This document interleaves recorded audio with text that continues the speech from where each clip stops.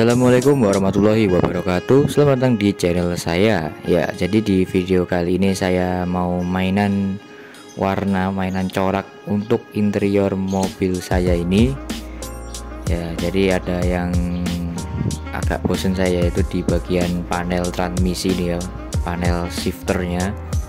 Ini yang warna silver ini saya rencana akan ubah menjadi corak motif kayu atau wooden panel. Ya bahasa Inggrisnya wooden panel ya. Nah jadi seperti apa? Simak terus video ini sampai habis.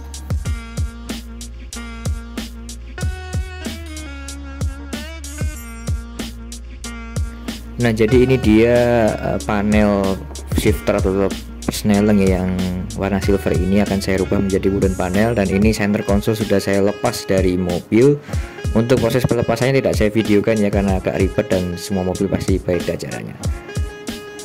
Oh iya, video ini bukan video tutorial pemasangan wooden panel tapi lebih ke sharing saja karena di sini saya juga baru pertama kali memasang wooden panel untuk mobil saya. Jadi kalau ada kekurangan mohon dimaklumi. Kalau ada salah ya dibully aja nggak apa di kolom komentar. Ini sekarang saya lepaskan dulu panelnya dari center console ya supaya pemasangannya lebih mudah.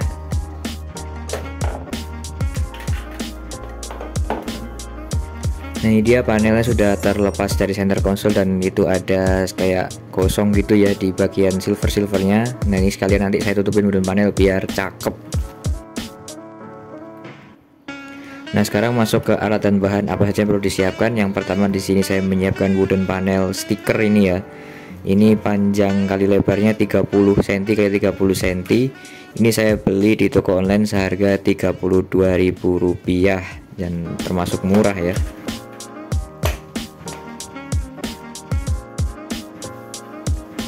Dan untuk alatnya saya di sini menyiapkan gunting kemudian ini tambahan lagi menggunakan cutter. Dan yang terakhir saya juga menyiapkan heat gun ya. Atau kalau kalian nggak punya heat gun bisa pakai hair dryer di rumah. Mungkin emak kalian atau istri kalian ada yang punya pakai aja nggak apa-apa. Pinjem aja sebentar. Bisa kok.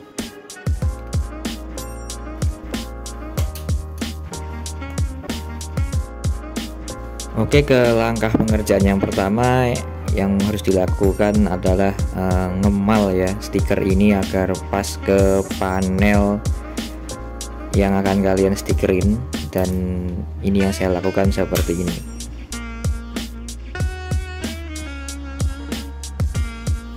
Nah kalau cara saya sekarang ini saya mal dulu menggunakan penggaris kotak ini ya. Saya bikin garis dan melebihi dari panelnya. Berlebihan nggak apa-apa daripada kurang nanti hasilnya jelek mending kelebihan aja. Toh ya ini masih banyak stikernya.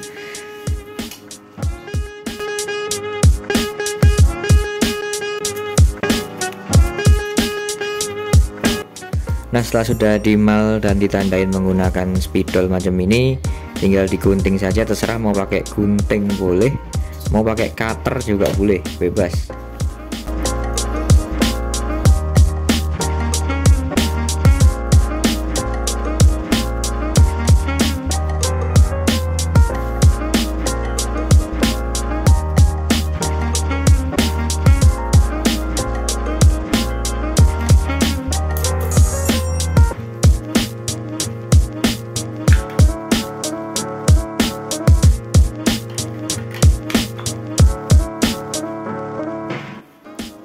Nah sekarang kita masuk ke proses penyetikeran ya dan penempelan stiker ke panelnya. Tapi sebelum itu pastikan dulu permukaannya bersih. Nih cukup dilap menggunakan tisu seperti ini saja nggak masalah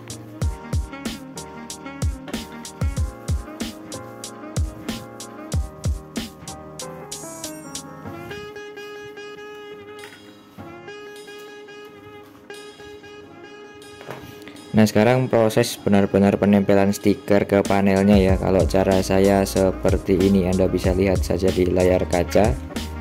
Nah seperti itulah kira-kira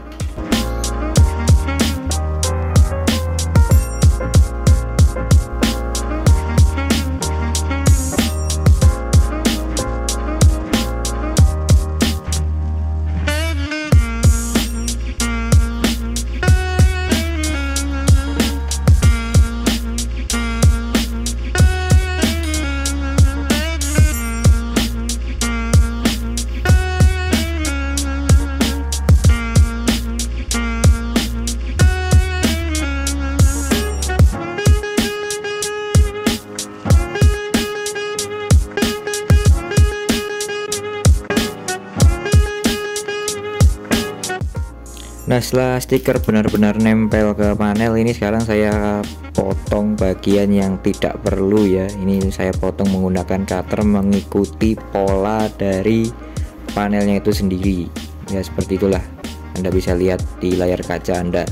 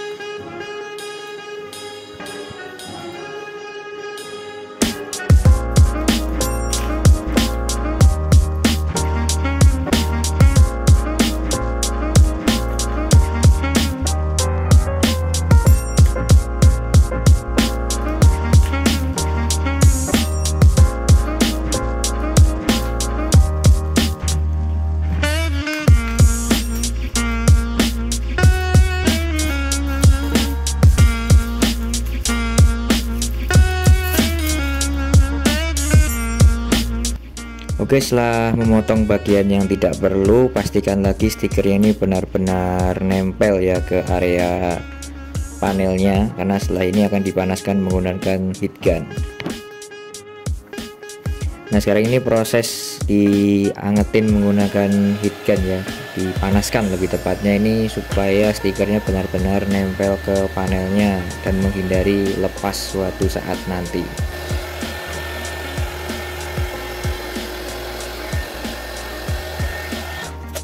Ini sudah saya panaskan menggunakan heat gun ya dan ini stikernya sudah benar-benar nempel kecuali yang di bagian bawah ini karena emang nekuk ya stikernya ya. Jadi agak ngelipat gitu dan ini sepertinya kan saya potong saja kemudian saya tumpuk karena nggak ada cara lain ya. Ya sekali lagi saya bukan orang yang profesional di bidang ini karena saya juga coba-coba ini baru pertama kali bikin seperti ini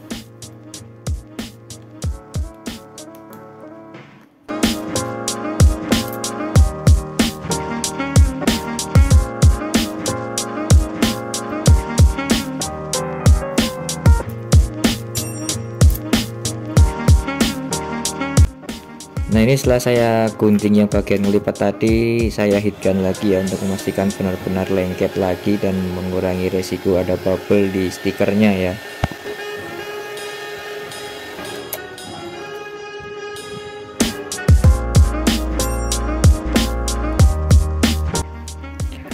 Ya, jadi langkah selanjutnya adalah saya memotong bagian area luar yang tidak perlu ini ya, area yang kelebihan tadi yang over tinggal ngikutin pola si panelnya ini menggunakan gunting saja seperti ini. Seperti yang anda bisa lihat di layar kaca anda sekarang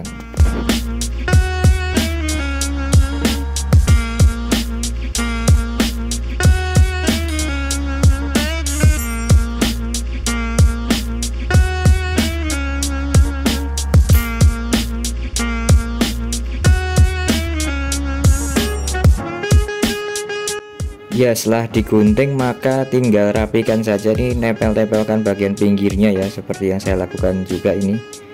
Nah, jadi jangan dipotong ngepres tapi dipotongnya itu sisain dikit kayak gini.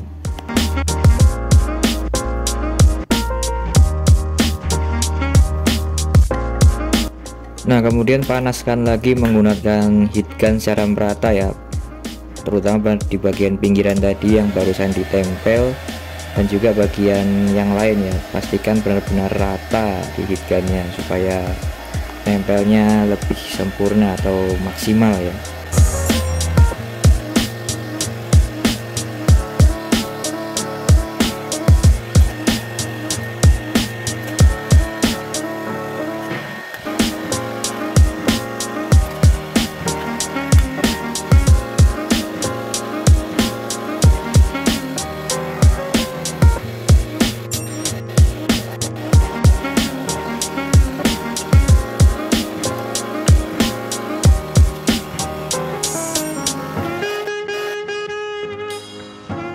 Nah ini sudah benar-benar merata dan PR terakhir saya tidak tinggal melubangi atau memotong bagian area tombol ya. Jadi di panel ini ada tombol hold yang fungsinya untuk uh, menahan overdrive dari transmisi. Dan ini belum saya lubangin dan sekarang akan saya lubangin menggunakan cutter dengan cara ditusuk seperti ini ya. Dan selanjutnya Anda bisa lihat saja di layar kaca Anda.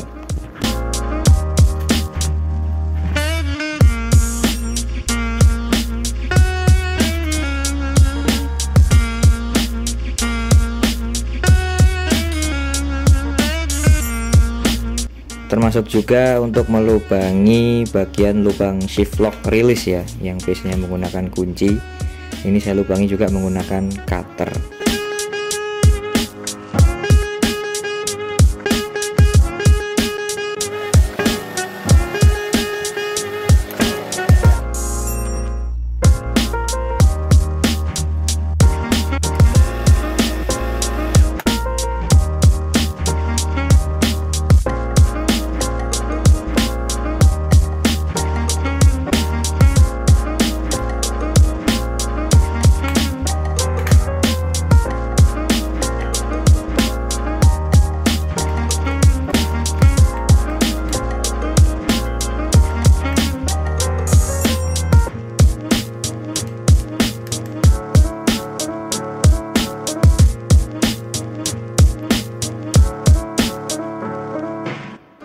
Nah jadi seperti ini hasil akhirnya. Memang tidak 100% rapi ya karena memang sekali lagi saya bukan orang yang profesional di bidang ini. Saya juga baru coba-coba.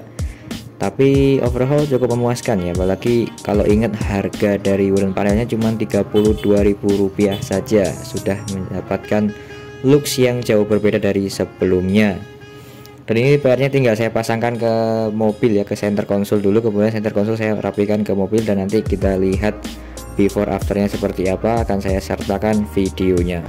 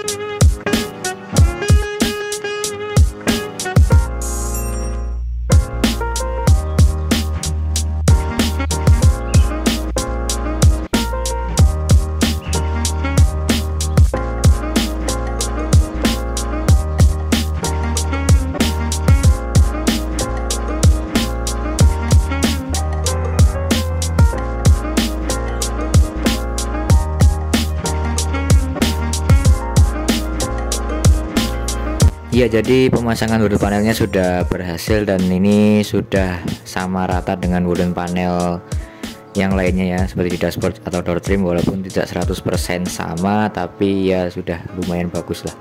Oke jadi seperti itu saja video dari saya. Semoga bermanfaat. Jangan lupa like dan subscribe channel ini. Terima kasih sudah menonton